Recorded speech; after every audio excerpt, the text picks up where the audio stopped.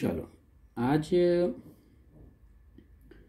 एक प्रोग्राम कुछ मैसेज आया था कि, सर, ये वाला प्रोग्राम सोल्व करा दीजिए। ठीक है? और काफ़ी इंटरेस्टिंग प्रोग्राम है, सब कोई देखो। प्रोग्राम है क्वेश्चन आ रहा है। Write a program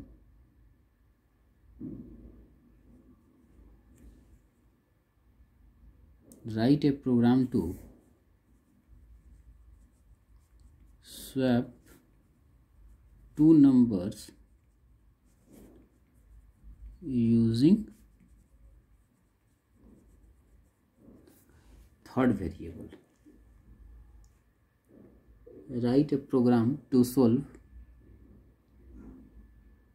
write a program to swap swap करना है स्वैप का मतलब क्या हो जाता है ठीक है थोड़ा ब्लर आ रहा है मैनेज कर लेना स्वैप का मतलब क्या हो जाता है कि अगर अगर ए का वैल्यू सपोज़ करो टेन है और बी का वैल्यू ट्वेंटी है तो जब स्वैप करेगा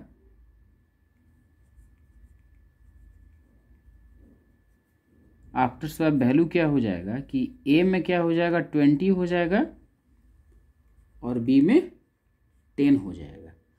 ए और बी जो वैल्यू है आपस में स्वैप कर जाएगा एक्सचेंज कर जाएगा। उम्मीद करते हैं कि सारे लोग समझ पा रहे होंगे कि स्वैपिंग क्या कहलाता है। स्वैपिंग मतलब अदला बदली मतलब कि ए में अभी क्या है? ए में टेन है और बी में ट्वेंटी है। तो जब स्वैप हो जाएगा तो आउटपुट जब आएगा स्वैप करने के बाद में तो ए में जो टेन था, वो क्या हो जाएगा? ट्वेंटी वाला आ जाएगा और बी वाला वैल्यू ए में चला जाएगा। तो ए का वैल्यू कितना हो जाएगा? ट्वेंटी और बी का वैल्यू कितना हो जाएगा? टेन क्या हो जाएगा? टेन क्लियर है? अब देखो, छोटा सा इसका एक लॉजिक सिखला देते हैं कि कैसे प्रोग्रामिंग काम कर रहा है। सबको जानते हो ना कि अगर हम लोग को कोई भी वेरिएबल को रखना होता है तो हम लोग सबको जानते हैं कि जैसे sum equals to A plus B ऐसे लिखते हैं तो ए प्लस बी को किसमें स्टोर करना है? सम में। तो सम को क्या रखते हैं? पहले और ए प्लस बी को रखते हैं हम लोग। बाद में, यानी कि जिसमें वैल्यू स्टोर होना होता है, हमेशा वो लेफ़्ट साइड रहता है। जो स्टोर होता है, वो राइट साइड मतलब सम पहले है उसके बाद ए प्लस बी तो ए प्लस का वैल्यू किसमें चला जाता है? सम में। वैसे ही बताएँ परसेंटेज इक्वल्स टू जो भी निकालना है तो जो भी वैल्यू स्टोर होगा, पहले लिखेंगे। ये कॉन्सेप्ट क्लियर है? गुड अब छोटा सा लॉजिक हम दिखलाते हैं कि क्या करना है। जैसे दो स्वैप करना है, तीसरा का मदद से। तो एक छोटा सा लॉजिक पहले बताओ कि सपोज़ करो कि एक भरा ग्लास है। एक ग्लास है ए और दूसरा ग्लास का नाम है बी ठीक है? दोनों में भरा है पानी। ठीक है? सपोज़ करो कि ये रेड कलर का है, ये ग्रीन कलर का है। ठीक है? आज हम लोग कॉलेज में भी बात किए थे। रेड कलर का है ग्रीन कलर का है। अब यहाँ पर क्या होगा कि अब देखो तो ए को क्या करना है? बी में डालना है या बी को ए में डालना है? तो देखो तो पूरा तो भरा हुआ है। छलक के पानी गिर जाएगा, लेकिन आपस में एक्सचेंज नहीं होगा। तो क्या करेंगे हम लोग? क्या करना है? यूजिंग थर्ड वेरिएबल तो एक थर्ड वेरिएबल ले लेते हैं, ठीक है? थर्ड वेरिएबल एक अलग से एक और ग्लास ले लेते हैं। इस ग्लास का नाम रख देते हैं हम टेम्प टेम्पोररी का टेम्प ले लेते हैं। अब देखो, छोटा सा लॉजी देखो कि अगर ए वाला को सबसे पहले किसी का भी ले लो तो हम क्या करते हैं कि ए का जो पानी था किसमें कर दिए टेम्प में। ए का पेलू किसमें डाले? टेम्प तो खाली है तो इसमें टेम्प में डाल दिए तो हम क्या लिखेंगे? टेम्प में डालना था। यहाँ सम में डाले थे तो यहाँ पर क्या लिख दें हम? Temp temp equals to A ठीक है? टेम्प इक्वल्स टू ए चला गया। तो ये वाला अब क्या हो गया? ए खाली हो गया और इसका पानी किसमें चला गया? रेड जो है, रेड कलर का पानी किसमें घुस गया? टेम्प में। और ए खाली हो गया। ए खाली हो गया ना? टेम्प में चला गया। तो अब क्या करते हैं? ए खाली है। तो बी को उलट देते हैं इसमें। तो बी को किसमें उलटना है? ए में उलटना है तो ए लेगा बी का। तो ए इक्वल्स टू बी, क्योंकि ए में वैल्यू जा रहा है तो पहले लिख देंगे। अब बी वाला वैल्यू इसमें जा रहा है तो क्या लिख देंगे? पहले ए इक्वल्स टू बी अब क्या हो गया? ए में कौन सा चला गया? ग्रीन चला गया। अब बच गया क्या? अब ये खाली हो गया। जब ये खाली हो गया तो ये वाला पानी जो है उठा के डाल दीजिए। ये वाला भी किसमें डालिएगा? बी में। तो बी इक्वल्स टू टेम्प अब ये वाला पानी जो रेड वाला था खाली होके किसमें चला गया है? इसमें चला गया। और ये फिर खाली?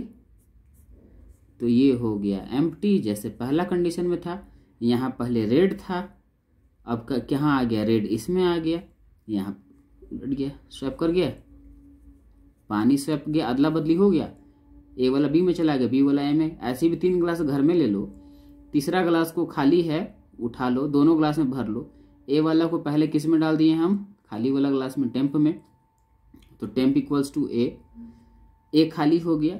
बी को किसमें डाल दें? ए में डाल दिए। तो ए इक्वल्स टू बी अब टेम्प वाला बचा। अब बी खाली है तो बी इक्वल्स टू टेम्प बस यही कंडीशन प्रोग्रामिंग में लगा दो। बाकी तो बच्चा जैसा प्रोग्रामिंग जानते ही हो। अभी प्रोग्रामिंग बोलोगे तो बना देते हैं। कहाँ बना दे? कंप्यूटर में बना दे कि यहाँ बना दे? चलो पहले यहाँ समझ लो। सबसे पहला कहानी hash include I O stream dot H header file. एक और हेडर फ़ाइल डिफाइन कर देते हैं, जो कि गेट सी एच कोनियो को कोनियो डॉट एच। कहीं से कोई स्पेलिंग मत मिस्टेक करना, नहीं तो प्रोग्राम रन नहीं करेगा। वॉइड मेन प्रोग्राम यहीं से स्टार्ट होता है। Main is also known as driver function तीन ग्लास लेना है। इंटीजर टाइप का ले लेते हैं। क्वेश्चन है कि दस ए में अगर दस है बी में अगर बीस है तो स्वैप कर देना है। तो इंट ए ले लिए। ऊपर वाला ही क्लास का नाम ले लेते हैं। ए बी और एक टेम्प ले लेते हैं। तीसरा क्लास ठीक है?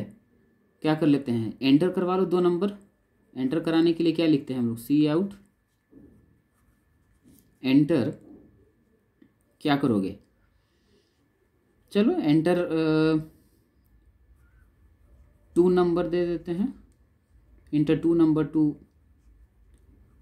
swap ऐसे भी कर सकते हो और अलग अलग भी ले सकते हो। इंडेल प्रोग्रामिंग में कर लेंगे हम लोग अलग अलग सी इन ए और बी दोनों में चला गया?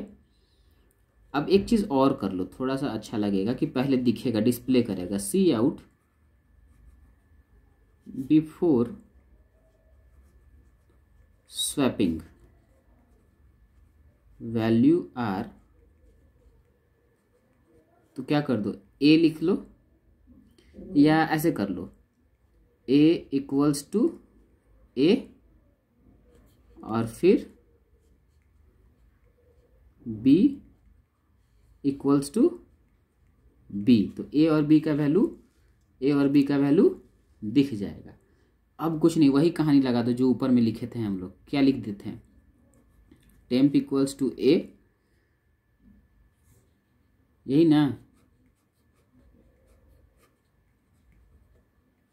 ऐसे लगा लो, कोई लॉजिक नहीं काम कर रहा है तो ए वाला वैल्यू किसमें डाल दो? टेम्प में।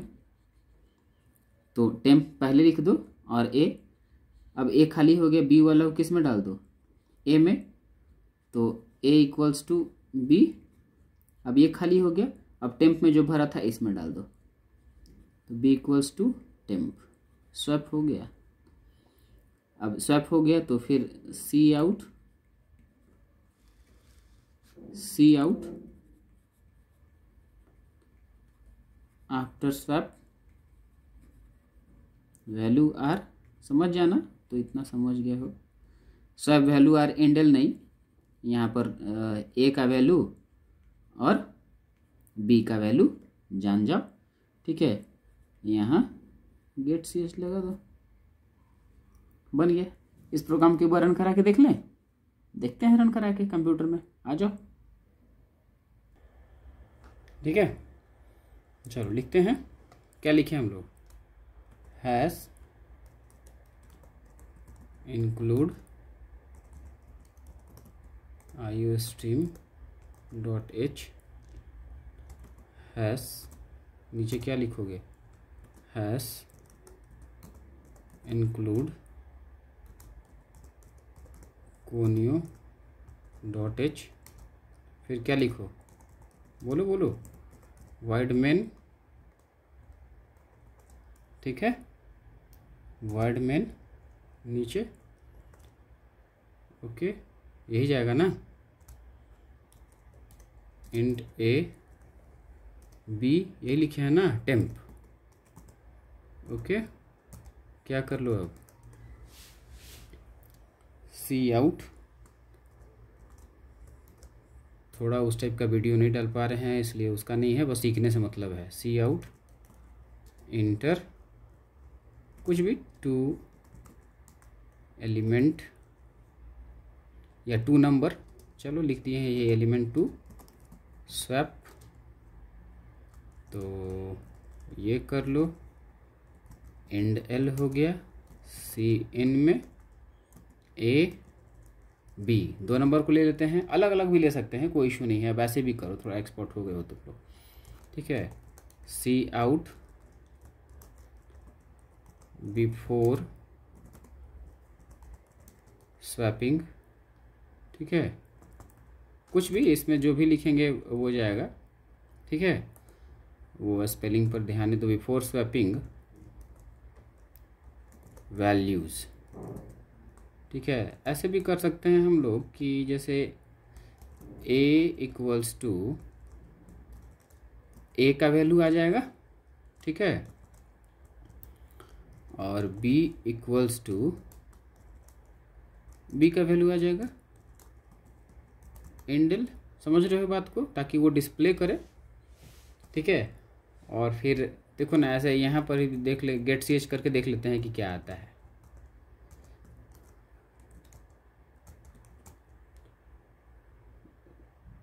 चार, पाँच। तो ए का वैल्यू चार बी का वैल्यू पाँच। ठीक है? थोड़ा पेशेंस के साथ में पूरा वीडियो देखना।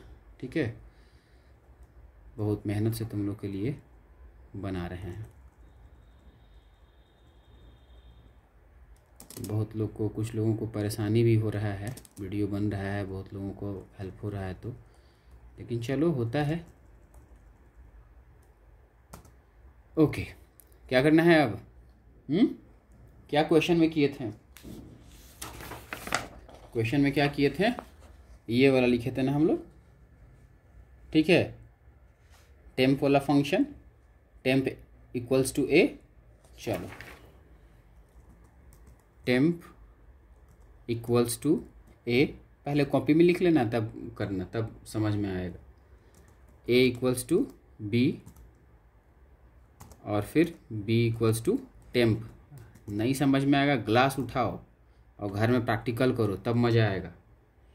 टेम्प ठीक है? अब यहाँ पे क्या कर दो? अब स्वैप कर गया, अंदर में स्वैप कर गया, लेकिन अब देख लो।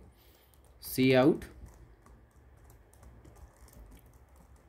After swapping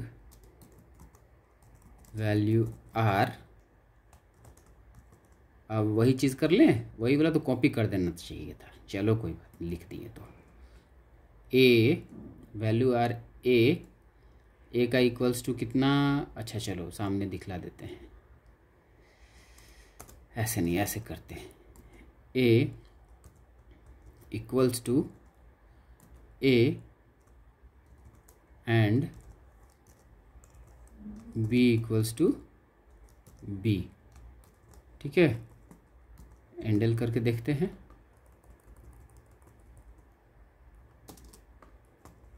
थोड़ा सा स्पेस वाला फीलिंग आएगा।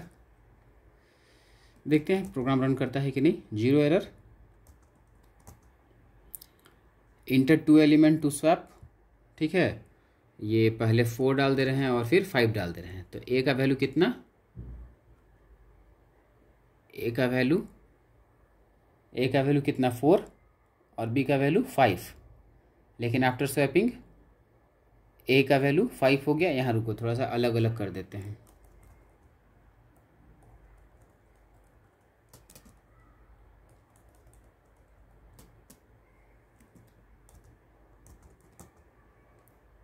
Three, four. तो यहाँ देखो ए का वैल्यू कितना था? Before swapping before swapping A का वैल्यू थ्री और बी का वैल्यू फोर। आफ्टर स्वैपिंग क्या हो गया? आफ्टर स्वैपिंग वैल्यू और ए का वैल्यू देखो, थ्री था तो क्या हो गया? फोर और बी का value three. Swapping complete program done clear हुआ? फिर से एक बार रन कराएँ। हम्म? फिर से रन कराएँ, फिर से देखो। जो मन करे, क्या मन कर रहा है? चलो, हम सेवन डाल दिए ए का वैल्यू और बी का value eight enter before swapping A का वैल्यू कितना लिखा? सेवन और बी का वैल्यू एट लिखा। लेकिन आफ्टर स्वैपिंग काम किया वो वाला टेम्प्रोरी में? Temp equals to A equals to B B equals to temp जो फ़ंक्शन डाल दिए हैं हम लोग बना करके आफ्टर स्वैपिंग क्या हो गया? ए का वैल्यू कितना हो गया? यहाँ पर ए का वैल्यू सेवन था और यहाँ ए का वैल्यू कितना हो गया? एट यहाँ बी का वैल्यू कितना था? एट बी का वैल्यू कितना? स्वैप इसी को हम लोग बोलते हैं स्वैपिंग क्लियर है? चलो तब। आज इसी बात पे वीडियो को ख़त्म करते हैं। ये वाला प्रॉपर वे में अच्छे से तुम लोग नोट्स बना लेना और नोट्स बना करके एक बार ज़रूर देखना, इसका प्रैक्टिकली देख लेना। बहुत अच्छे से समझ में आएगा। तीन ग्लास ले लेना और तीनों को पलट के देखना। ग्लास का अलग अलग नाम लिख लेना, मन होगा तो। और ग्लास का नाम लिख करके जिस ग्लास में डालोगे, वो पहले लिख लेना। ठीक है? चलो, एक बार और समझ। सिंपल क्या करना है? दो ग्लास, दो वैल्यू क्या था? स्वैप करना था। तो एक तीसरा ग्लास ले लिए हम। यूजिंग टेम्प्रोरी ये ए ये बी और ये टेम्प ठीक है? तो यहाँ दोनों में भरा है पानी, दोनों में भरा हुआ है। करेंगे तो क्या हो जाएगा? गड़बड़ हो जाएगा, पानी गिर जाएगा। क्या किए हम? ए का वैल्यू किसमें डाल दिए? खाली ग्लास में डाल दिए। तो खाली ग्लास पहले ले रहा है, पहले ले रहा है, याद रखना तो पहले क्या होगा? टेम्प इक्वल्स टू क्या गया? ए दे रहा है तो बाद में। ये खाली हो गया? ये एम्प्टी हो गया? अब खाली हो गया तो अब ये भरा हुआ है तो इसको किसमें डाल दो? बी को इसमें डाल दो। तो ए ए लिया ना? ए लिया तो ए पहले इक्वल्स टू बी जो ले रहा है पहले, बस यही जान लो कि जो ले रहा है वो पहले। अब बी खाली हो गया बी खाली हो गया तो अब टेम्प्रोरी वाला वैल्यू किसमें डाल दो? इसमें तो कौन ले रहा है? बी ले रहा है तो B equals to temp main कहानी इसी का है स्वैपिंग का। चलो thank you special thank you उसके लिए जो सपोर्ट में खड़ा है, ठीक है? चलो बाय बाय गुड नाइट